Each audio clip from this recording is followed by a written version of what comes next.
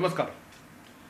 गेल्या काही वर्षांमध्ये पेशंट्स रुग्ण हे आयुर्वेदाकडे पुन्हा एकदा वळायला लागलेले आहेत. आयुर्वेद हा एक दीर्घकालीन उपाय जरी असला तरी तो परफेक्ट उपाय असतो असं मानणाऱ्यांची संख्या खूप मोठ्या प्रमाणात वाढली. आणि त्यामुळेच आयुर्वेदाच्या क्षेत्रामध्ये काम करणाऱ्या डॉक्टरांनी देखील आता वेगवेगळे प्रयोग करायला सुरुवात केली आहे. आत्ता माझ्याबरोबर आहेत डॉक्टर प्रणील ठाकरे. सर नमस्कार. डॉक्टर प्रणील ठाकरे यांचं वैशिष्ट्य सांगायचं झालं तर डॉक्टर प्रणील ठाकरे हे आयुर्वेदाचार्य आहेत. प्युअर आयुर्वेदिक प्रॅक्टिस आणि योग हे त्यांच्या दोन स्पेशालिटीज आहेत. त्यामध्ये सुद्धा सर्वसामान्य माणसाला मणक्याचे विकार जे होतात आणि स्त्रीरोग या दोन विषयांमध्ये ते तज्ज्ञ आहेत. मणक्याच्या विकारांबद्दल आज आपण बोलणार आहोत. मणक्याच्या विकारांची तीव्रता काय आहे हे तुम्हाला सांगितल्यास तुम्हाला सुद्धा आश्चर्य वाटेल. शंभर जणांपैकी जवळपास साठ जणांना मणक्याचे विकार असतातच. बऱ्याचदा त्याकडे दुर्लक्ष होत असतं आणि ज्यावेळेस त्याची सिव्हिअरिटी वाढते त्यानंतर त्याकडे रुग्ण आणि त्याचे नातेवाईक लक्ष द्यायला सुरुवात करतात. म्हणजे जवळपास साठ टक्के व्यक्तींमध्ये आपल्याला मणक्याचे विकार आढळून येतात.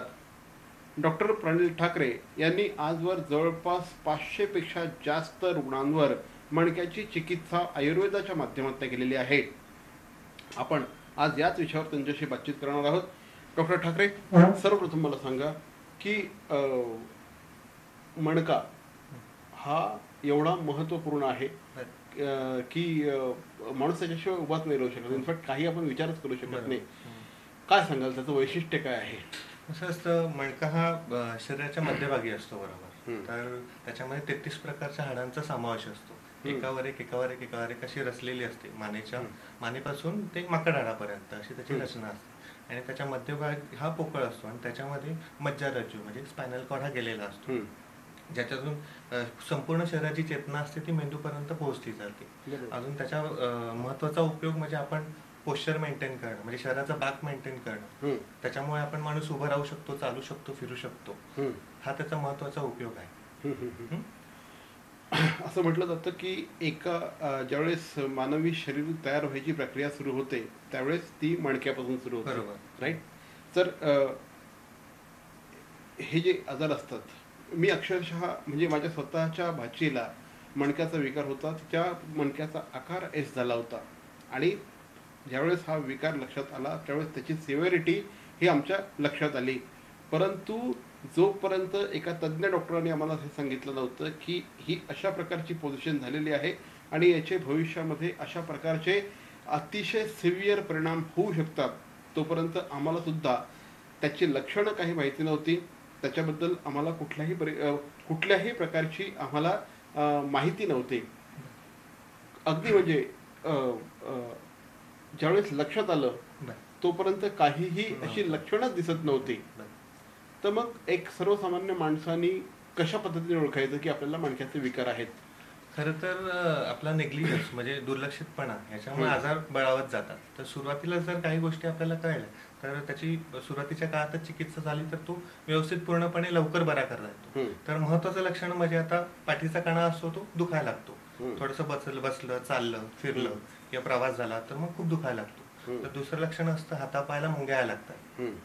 तर सायटिका नावाचा एक आजार असतो त्याच्यामध्ये कमरेपासून ते तळपायापर्यंत. खूप प्रचंड वेदना होतात वीज. जशी चमकते त्याप्रमाणे. त्या पेशंटला वेदना होतात तसंच काही वेळा काय होतं मान दुखायला लागते मानेचे मणके झिजले जातात मान दुखायला लागते मान जखडते काही लोकांना चक्कर यायला लागते. अशा प्रकारची वेगवेगळी लक्षणं दिसतात तर महत्वाचं म्हणजे सुरुवातीला दिसणारं लक्षण म्हणजे चमका भरतात खूप. भरते. पाठीमध्ये तर मग हे बऱ्याचदा वारंवार होत जातं होत जातं. पण. मग लोक म्हणतात हुक भरली तर त्याच्यासाठी ट्रीटमेंट का करावी. एखादी पेन किलर खाऊन ते काम चालवून घेतात. पण मग हे असं वारंवार होत गेलं की मग त्याच्या ठिकाणच्या मसल असतात त्यांचा स्टिफनेस यायला लागतो. जखडायला लागतात. जखडल्यामुळे मणक्याचा आकार बदला बदलायला लागतो. त्याच्यावर. दाब वाढायला लागतो.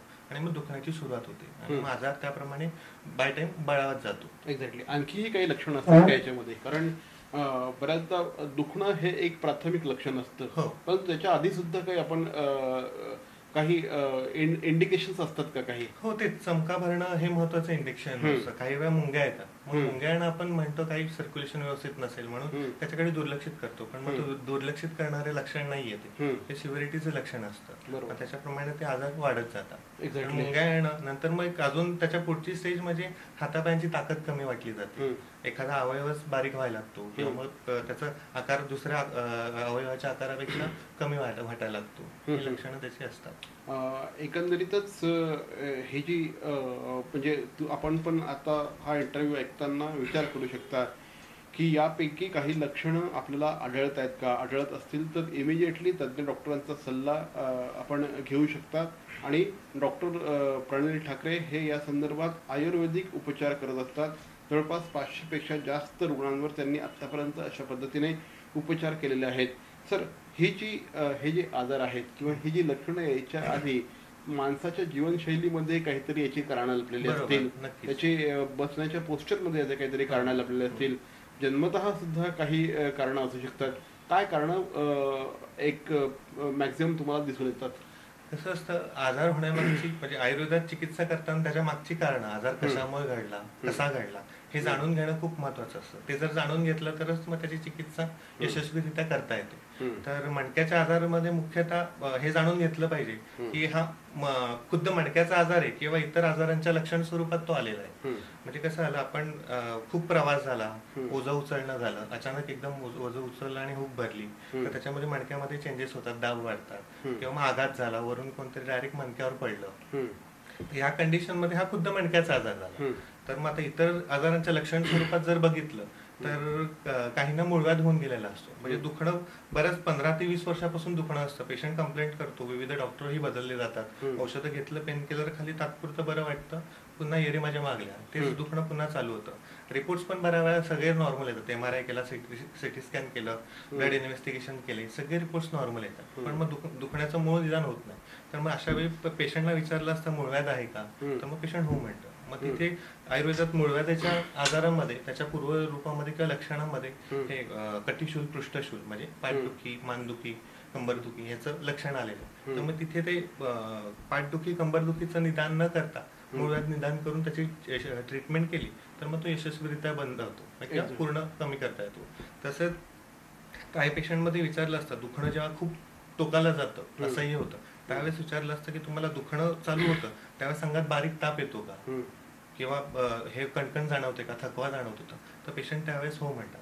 तर मग अशा वेळेस त्या ज्वराचं निदान म्हणजे तो हाडीताप बऱ्याच वर्षांचा हाडीताप जिरलेला असतो. तर आयुर्वेदामध्ये त्याला तृतीय किंवा चातुर्थक ज्वर असं दोन प्रकारच्या ज्वरांचं वर्णन आलेलं आहे. तर त्याच्या अंतर्गत पण हे मानदुखी पाठदुखी कंबरदुखी ह्याचं वर्णन आलेलं आहे. तर ह्याच्याबरोबर अजूनही बरीचशी कारण आहेत लहानपणी मुडदूस होऊन गेलेला असतो. म्हणजे त्याच्यामध्ये हाडे ठिसूळ व्हायला लागतात. काही लोक लहान मुलांना खडू पेन्सिल चॉक माती. हे खायची सवय असते. तर ह्या ह्या ह्याच्या सेवनामुळे. शरीराचं पोषण व्यवस्थित होत नाही आयुर्वेदात त्याला पांडू म्हणून एक आजार आहे त्याच्या अंडर हे वर्णन आलेलं तर. त्याच्यामुळे हाडं खूप झिजायला लागतात. आणि मग हाडं झिजायला लागली मणक्यावरचा दाब वाढतो आणि मणक्याचे आकार बदलायला लागतात बरोबर. तर ह्याच्यामध्ये पण मग त्या पांडूची ट्रीटमेंट केली. तर मग ते व्यवस्थित आपल्याला बरं करता येतं. ह्याच्या व्यतिरिक्त आहार आणि विहार म्हणजे. आपला जो रेग्युलर डाएट असतो तो. विहार म्हणजे आपला लाईफस्टाईल म्हणजे. आपण. एकंदर समाजात वावरतो आपला व्यवसाय आपलं फिरणं हे. करणं तर ह्याच्यामध्ये आहारामध्ये काय होतं हल्ली फास्ट फूड जंक फूडचं प्रमाण असल्यामुळे त्याचं प्रमाण खूप वाढलं जातं घरचं अन्न कमी खाल्लं जातं. बाहेरचं अन्न खाल्ल्यामुळे ते एकदम त्या दर्जाचं सकस दर्जाचं नसतं. त्यामुळे ते शरीराचं पोषण कसं करणार. तर शरीराचं त्याला आपण खायलाच कमी देतो किंवा त्याचं. पोषण तत्व वाढणारी जी औषध हे अन्न असतं ते त्याला कमी मिळतं आणि मग. शरीराची हालचाल प्रचंड प्रमाणात असते धावपळ व्यवस्थित असते. तर मग त्यामुळे ते तिथे त्याला पोषण तत्व मिळत नाही त्याच्यातनं ही झीज व्हायला लागते. आणि महत्वाचं शरीर टिकवण्यासाठी वंगण महत्वाचं असतं. जसं आपण गाडीमध्ये ऑइल घालतो तसे शरीरामध्ये तेल आणि तूप जाणं महत्वाचं असतं. तर मग गाईच्या तुपाचं सेवन रेग्युलर केलं जातं पण मग हल्ली ते बिलकुल होत नाही. कोणाला आवडत नाही किंवा कोणाच्या आहारात समावेशच होत नाही. आणि दुसरं विहारामध्ये बघितलं तर अंगाला तेल लावलं जात नाही. दिवाळीत एकंदर फक्त तेल लावलं जातं तर हल्ली त्या ह्या गोष्टी एवढ्या होत नाही. प्रकर्षाने तर मग अंगाला तेल लावल्याने मग वृक्षता वाढायला लागते. वृक्षता वाढली की वात वाढायला लागतो. वात वाढला की मग सगळी दुखणी यायला लागतात. वाताशी संबंधितच बरेचसे आजारपण असतात. मणक्याचे जे बरेचसे आजार असतात ती वात वातदोषाच्या संदर्भात असतात. तर दुसरं म्हटलं तर काही व्यवसाय. तर आय टी क्षेत्रातील लोकांमध्ये एकाच. जागी आठ आठ नऊ नऊ तास बसलेले असतात. बरोबर. एकाच पोझिशनमध्ये बसल्यामुळे त्यांची हालचाल होत नाही. हालचाल झाली नाही की पचनशक्ती मंदावते. स्थूलता यायला लागते. स्थूलता आली की पोटाचा घेर वाढायला लागतो. पोटाचा घेर वाढला की मणक्यावरचं प्रेशर वाढायला लागतो. पोट जसं पुढे सटतं तसं ते मागे मणका पण खिचतं. तर त्याच्यामुळे ते पुढे खेचलं जातं आणि मग त्याच्यावरचा दाब वाढतो. ऑलरेडी त्याच्या शरीर शरीराचा लोड त्याच्यावर असतो. त्यात हा अतिरिक्त भार भार पडला की मग त्याच्या स्ट्रक्चरमध्ये चेंज व्हायला लागतं. त्याला लॉडोसिस म्हणतात. आणि जो शेप असतो तो लॉस व्हायला लागतो. Exactly Shri Jagannath cultural education trust Thane आयोजित भगवान श्री जगन्नाथ रथयात्रा उत्सव ठाणे. यंदाचं हे दहावं वर्ष आहे. चौदा ते बावीस जुलै दरम्यान या निमित्ताने महाप्रसादचं आयोजन दुपारी साडेबारा ते अडीच आणि रात्री आठ ते साडेदहा वाजेपर्यंत आयोजित करण्यात आलं आहे. रथयात्रा प्रारंभ मनोरमा नगर ते उपवन तलाव पालादेवी मंदिर दुपारी अडीच वाजल्यापासून. प्रचंड मोठ्या संख्येने भाविकांनी सहभागी व्हावं असं आवाहन उडिया बांधवांनी केलं आहे. जास्तीत जास्त नागरिकांनी भगवान श्री जगन्नाथजींच्या महाप्रसादाचा लाभ घ्यावा असं आवाहन जगन्नाथ कल्चरल एज्युकेशन ट्रस्टच्या वतीने करण्यात आलं आहे. तिळतेलाचा दीप लाविता खंड देवा पुढती. दिव्यास पाहून लक्ष्मी येते घेऊन सात्विक शांती. पितांबरी दीपशक्ती तीळ तेलाचाच लावा देवांपुढे दिवा. कमी तेलात काजळीशिवाय अधिक प्रकाश मिळवा. आषाढी बीज अर्थात कच्छी नवीन वर्षाच्या निमित्ताने कच्छ अस्मिता मंच आणि श्री सुरेश कडा सादर करीत आहेत कच्छ पागडी कुणाशिरे कच्छ वागड आणि लोहाणा समाजातील विविध क्षेत्रामध्ये नेत्रदीपक कामगिरी केलेल्या मान्यवरांचा सन्मान सोबतीला कच्छी डायरो हा सांस्कृतिक कार्यक्रम. पालकमंत्री श्री एकनाथ शिंदे खासदार श्री राजन विचारे महापौर सौ मीनाक्षी शिंदे यांची प्रमुख उपस्थिती. कच्छ पागडी कुणा शिरे? दिनांक चौदा जुलै दोन हजार अठरा. सायंकाळी गडकरी रंगायतन ठाणे. आयोजक श्री Suresh Kada.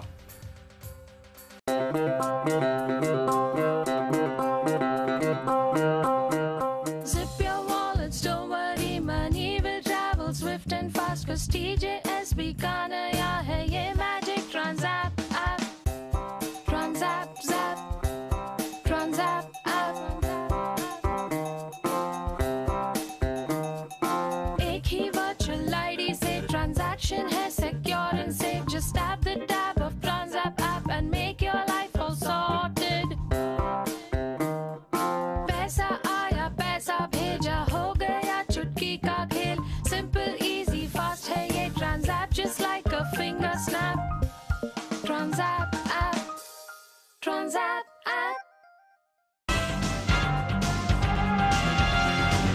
हे डॉक्टरांचं म्हणणं असं आहे की आहार विहार योग्य ठेवा.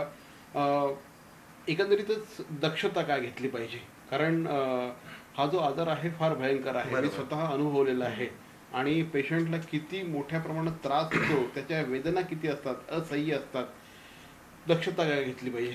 खरं तर असं मी म्हटलं वंगण शरीराला मिळत नाही. तर आहारात तुपाचं सेवन केलं पाहिजे स्निग्ध गोष्टींचं किंवा मग शरीराचं जर का तूप खाल्लं तर लोक म्हणतात की नाही, गाईच्या कोलेस्ट्रॉल वाढत गाईच्या तुपाने कोलेस्ट्रॉल वाढत नाही शुद्ध. तूप असेल गाईचं. तर मग त्याच्याने कोलेस्ट्रॉल वाढत नाही ओके उलट पित्तशमक असतं वातशामक हम्म. असतं पचन शक्ती सुधारवणारं असतं. या सगळ्या गोष्टींमुळे तेल आपण घेऊ शकत नाही एवढ्या प्रमाणात तर तुपाचं प्रमाण शरीरात गेलं. तर मग या सगळ्या गोष्टी आतनं आतड्यांमध्ये वंगण तयार व्हायला. पोट व्यवस्थित साफ व्हायला. बरोबर. तर मग ह्याच्यानी बऱ्याचसा जर पोट व्यवस्थित नाही साफ झालं तर पित्ताची आजार पण वाढायला लागतात. पित्त झाले की मग शरीराच्या झीज प्रचंड प्रमाणात वाढायला लागते. जर शरीरात साठायला लागलं तर मग तेच शरीरात पसरायला लागतं नॅचरली. त्याच्यामुळे. आणि दुसरं म्हणजे शरीराला जे तेल लावलं पाहिजे. तर मग रोज लावणं अपेक्षित नाहीच आहे. कारण आता या हालाकीच्या किंवा धकाधकीच्या जीवनात रोज एवढा वेळ नसतो. तर मग ऍटलीस्ट संडे टू संडे जरी कपाळापासून पायापर्यंत तिळाचं तेल लावून दहा मिनिटं बसून गरम पाण्याने शेकलं किंवा आंघोळ केली तरी पुष्कळ त्याचा परिणाम होतो. हो. कारण आपण व्यवसायाला बदल देऊ शकत नाही. पण. ह्या गोष्टी थोड्या नित्याने केल्या. आणि ह्याच्या बरोबर व्यायाम. तर व्यायाम काही लोक बिलकुलच करत नाही काही लोक अति करतात हो तर शरीराला तेल न लागल्यामुळे खूप व्यायाम केला जातो शरीराचा अनावश्यक लोड वाढला जातो. हा मग मसलवरचे खूप लोड वाढल्यामुळे मणक्यामध्ये आकार चेंज व्हायला लागतात. त्याची झीज जास्त वाढायला लागते. तर आणि जे बिलकुलच व्यायाम करत नाही त्यांनी खूप असा व्यायाम करू नये आयुर्वेदात वर्णन आहे की आपल्या शक्तीच्या अर्धशक्ती हम्म. म्हणजे आपल्या जेवढी एनर्जी असेल त्याच्या अर्ध्या एनर्जी जेवढा व्यायाम केला पाहिजे तेवढा शरीराला सोयीस्कर असतो ओके तर मग तो म्हणजे माफक दरात सूर्यनमस्कार मारणं थोड्याशा. बैठका मारणं. चालणं प्राणायाम. करणं ह्या गोष्टी जर नित्याने केल्या याच्यासाठी खूप वेळ द्यायची गरज नाही एक अर्धा तासात सगळे व्यायाम व्यवस्थित होतात बरोबर. जर ते नित्याने केलं तर माझा पण आपल्याला कटाक्षाने टाळता येतं एक्झॅक्टली बऱ्याचदा अशा प्रकारचे ज्यावेळेस विकार होतात त्यावेळेस सर्वप्रथम धाव घेतली जाते ती शस्त्रक्रियेकडे. किंवा मग ॲलोपॅथीकडे धाव घेतली. जाते हम्म.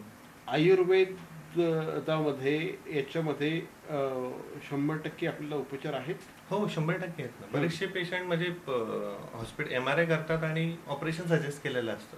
पण मग त्याचे दुष्परिणामही बरेच असतात. म्हणजे काही होऊ शकतं. पन्नास पन्नास टक्के गॅरंटी दिली जाते. होईलही नाही हम्म. पण मग आपल्याकडे कसं होतं बऱ्यापैकी ट्रीटमेंट व्यवस्थित केली जाते. आणि रिझल्टही व्यवस्थित मिळतात. कारण कसं होतं त्याचा स्ट्रक्चर बदललेलं असतं. तर ते काही वेळा लक्षणं बरी करता येतात स्ट्रक्चर तसंच असतं. पण मग ती ऍक्सेप्ट करतं. बॉडी त्या कंडिशनला अडॅप्ट करते. तर अशा कंडिशनमध्ये बऱ्यापैकी पंचकर्माचा भाग असतो. तर ते बस्ती म्हणून असो वातावरणाची जी चिकित्सा असते. ती काही ब- जवळच्या वैद्याच्या सल्ल्याने जर घेतली तर त्याच्याने खूप फायदा होतो तसंच. हा आणि कसं असतं पाठीच्या ज्या जिथे दुखणं असतं त्या ठिकाणी अशुद्ध रक्त साठलेलं असतं. तर जलौकाशरण म्हणजे घाणेरडं रक्त काढण्यासाठी जळू लावल्या जातात. तर त्या तिथलं अशुद्ध रक्त खेचून काढलं त्यांनी शोषून काढलं की मग तिथला भाग मोकळा होतो तिथल्या मसल असतात त्या जरा रिलॅक्स. कारण त्याचा स्टिफनेस खूप वाढलेला असतो. लवचिकता पूर्ण गेलेली असते.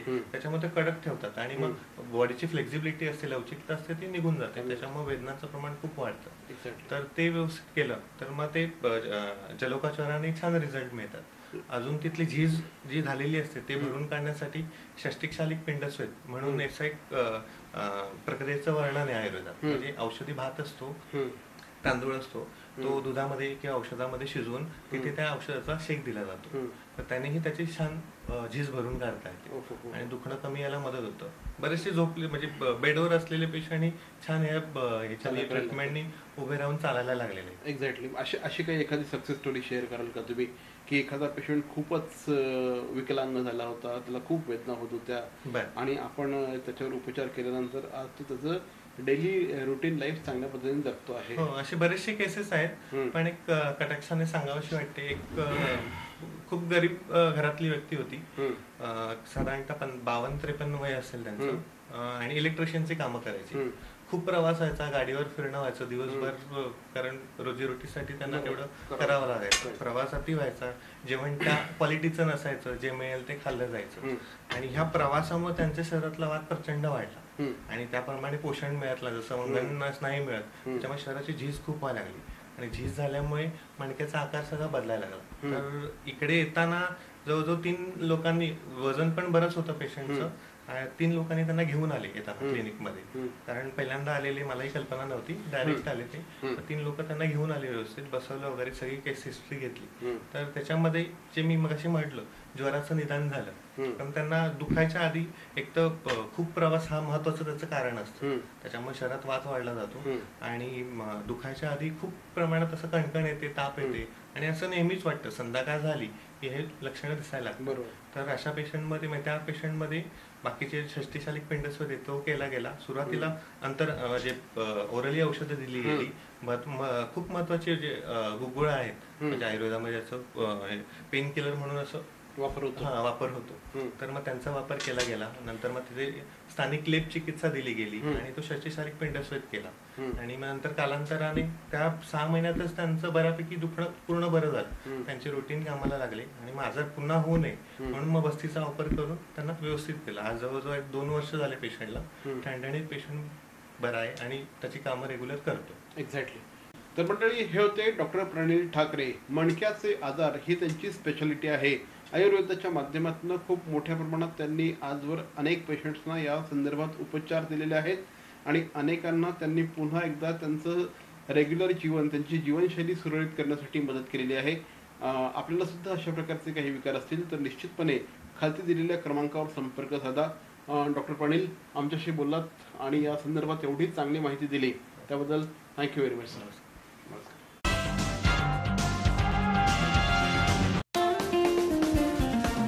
fashion means Baron Fashion means bet on. Menswear की जी जान बॅरॉन बॅरॉन बॅरॉन आली लग्न सराई. कपडे खरेदीची झाली घाई. अहो मग काळजी कसली? बॅरॉन आहे ना?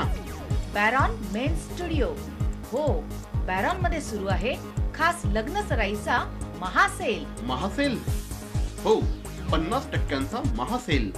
इथे मिळेल blazer suit sherwani Jodhpuri Indo western kurta suits formals partywear shirts आणि ट्राउझर्सच्या असंख्य varieties. Baron men studio Aamantran hotel जवळ जिल्हा परिषदेसमोर स्टेशन रोड ठाणे. दूरध्वनी nine six one nine six eight five three five three. Mens वेअरचा Sartaj Baron men studio fashion means Baron Fashion means bet on. Menswear की जी जान बॅरॉन बॅरॉन बॅरॉन मरावे परी अवयव रूपी उरावे. अवयव दानाचा हाच संदेश जनसामान्यांपर्यंत पोहोचवण्याचा संकल्प घेऊन निघाले आहेत ज्येष्ठ समाजसेवक माननीय नानजीभाई खिमजीभाई ठक्कर ठाणावाला. त्याचसाठी काढण्यात आली एक भव्य दिव्य रॅली. अवयव दानासाठी सुरू आहेत ठिकठिकाणी जनजागृती सभा. लक्षात ठेवा आपला अवयव दानाचा संकल्प वाचवू शकतो कुणाचे तरी प्राण. दूर करू शकतो कुणाचं तरी अपंगत्व अगदी कायमचं. फुलवू शकतो अनेकांच्या संसारात सुखाचे बगीचे. अवयवदानाच्या या महायज्ञात सहभागी व्हा. समाजरत्न श्री नानजीबाई खिमजीबाई ठक्कर ठाणावाला यांच्या पुढाकाराने जनहितार्थ प्रकाशित.